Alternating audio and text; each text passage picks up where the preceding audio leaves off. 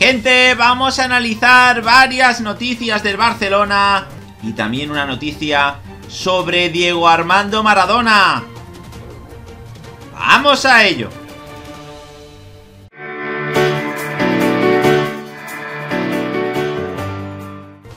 Hola de nuevo chicos, ¿cómo estáis? Bienvenidos de nuevo a otro vídeo para el canal. Vamos a analizar varias noticias, por tanto te animamos a que te quedes hasta el final del vídeo y a que nos dejes un buen like. Sin más dilación chicos, vamos a analizar la primera noticia y es que Serginho Dest está convenciendo al barcelonismo.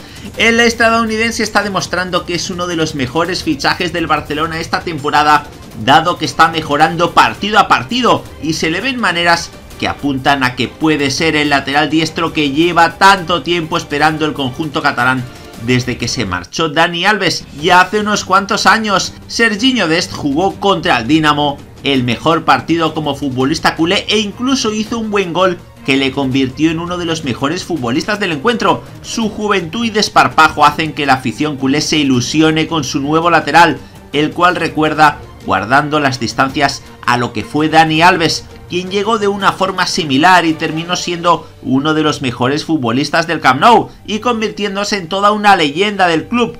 Está ilusionando muchísimo la participación de Dest con la camiseta azulgrana. Llegó sin hacer nada de ruido y la verdad es que este jugador pinta muy muy bien para el futuro del club. Ahora es el mejor momento para que Dest se asiente en el 11 titular de Ronald Koeman, ya que actualmente Sergi Roberto está lesionado y no tiene mucha más competencia. El futbolista tiene tan solo 20 años y sin duda es junto con Ansu Fati y Pedri el jugador que más ilusión ha traído esta temporada en el Barcelona. El carrilero llegó en los últimos suspiros del mercado después de varias semanas negociando con el Ajax de Ámsterdam en principio parecía un futbolista casi más para el filial por la edad que tiene, pero se ha encargado de dejar claro que ha llegado al Barcelona para triunfar en el primer equipo y mucho le va a costar a Sergi Roberto quitarle el puesto una vez esté recuperado de su lesión. Recordemos que va a estar dos meses lesionado, dos meses que tiene Serginho Des para demostrar lo que vale en el equipo. Vamos a hablar ahora de otra de las perlas del Barcelona de este año, de Pedri,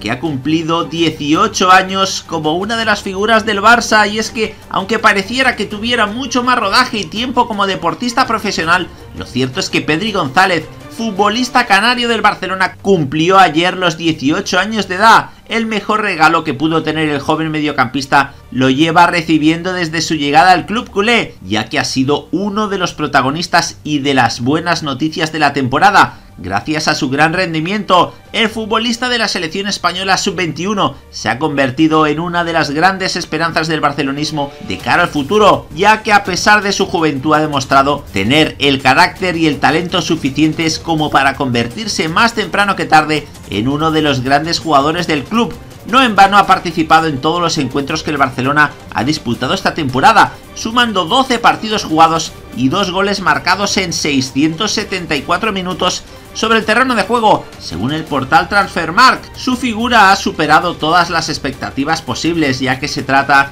de un jugador que llegó en silencio, pero ha hecho más ruido con sus actuaciones que muchos de los jugadores que ya tienen tiempo en el plantel. Aunque a Pedri no le regalaron nada, él se ha ido encargando de ganarse el espacio y el cariño suficientes como para ver con orgullo cómo él mismo supera los retos que se le interponen en su camino como culé. Aunque esta semana le tocó a Pedri alcanzar los 18 años, hace unos cuantos días fue Ansu Fati quien llegó a la mayoría de edad, Ambos coinciden en varios aspectos más allá de su juventud, puesto que son dos jugadores en los que el barcelonismo tiene depositadas la mayoría de sus esperanzas y que adicionalmente se han ganado el puesto y el respaldo de los que presumen hoy en día gracias a su propio pulso, dedicación y esmero. Aunque su corta edad llama bastante la atención, ambos jugadores pueden llamarse a sí mismos como dos de las figuras actuales que tiene el Barcelona para el presente y para el futuro. De seguir así se estará hablando no solo de dos de los mejores futbolistas del equipo culé próximamente, sino de un par de los más destacados exponentes del fútbol mundial para las próximas décadas. Por tanto chicos, el barcelonismo que está ilusionado con esta nueva perla, con Pedri González. Vamos a hablar ahora chicos de las intenciones que tiene Tony Freisa con Neymar y Messi. El ex directivo del Barça y candidato en las últimas elecciones, Tony Freixa, atendió a la cadena SER en una entrevista para el larguero, donde analizó varios temas de la actualidad del Barcelona. De la continuidad del astro argentino comentó lo siguiente en palabras textuales, lo más importante del Barça es el propio Barça, no dependemos de nadie en particular, ojalá Messi no se vaya, pero no es algo que me quite el sueño. Sobre el otro crack, Neymar señaló en palabras textuales, seguro que yo no intentaría fichar a Neymar por cómo se marchó del club y porque por rendimiento ahora no está ni entre los 30 mejores de Europa. Además comentó que ya tiene cerrado su director deportivo y comentó en palabras textuales y creo que va a sorprender mucho a los que me sitúan fuera de un determinado concepto futbolístico al que sí pertenezco, lo anunciaremos cuando se convoquen las elecciones, que creo que será el 18 de diciembre. Por tanto, chicos, estos son los planes que tiene Tony Freisa con Messi, que dice que no le quita el sueño el hecho de que se pueda ir. Vamos a hablar ahora, chicos, de Diego Armando Maradona, fallecido ayer, y vamos a hablar de su estancia en el Barcelona. La estancia de Diego Armando Maradona, fallecido este miércoles a los 60 años, en Barcelona donde permaneció 700 días, le marcó para siempre, porque dio sus primeros pasos en el fútbol europeo, pero también en el mundo de la droga, como él mismo reconoció mucho tiempo después en una entrevista.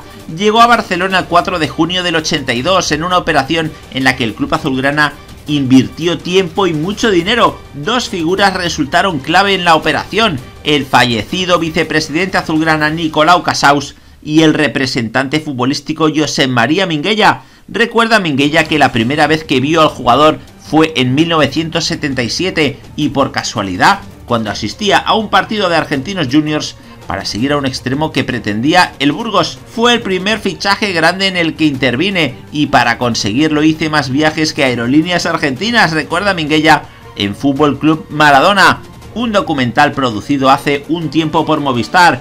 Inicialmente Argentinos Juniors, poseedor de la licencia del jugador, pidió 100 mil dólares por su traspaso en 1978, que se convirtieron en 6 millones de euros Cinco años más tarde, la operación se había cerrado tiempo atrás, en 1981, pero la vetó un representante de la dictadura argentina el almirante Carlos Alberto Lacoste me dijo que la patria lo necesitaba para el Mundial de 1978. Recuerda Minguella, el Barça pagó aquella cantidad en una época en la que un coche valía 600 euros, que el salario base era de 154 euros y que un café costaba 12 céntimos de euro. Sin embargo, el Barça amortizó la operación Maradona prácticamente antes de que el jugador comenzara a jugar. En el vestuario del Barça llamó la atención su enorme técnica individual, como era capaz de dar más de 200 toques a unas medias de fútbol enredadas o a un limón, y también que el Camp Nou se llenaba media hora antes de los partidos solo para ver sus malabarismos en el calentamiento.